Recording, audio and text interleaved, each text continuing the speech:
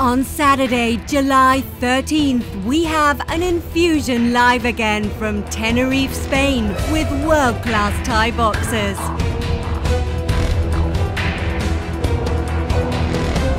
Maximo Suarez from Spain versus Andy Souwer from Holland. World champion David Calvo from Spain versus Henri van Opstal from Holland. World champion Iman Barlow from England versus Eva Naranjo from Spain. And the world title fight, Moises Ruibal from Spain versus Jiri Zák from the Czech Republic.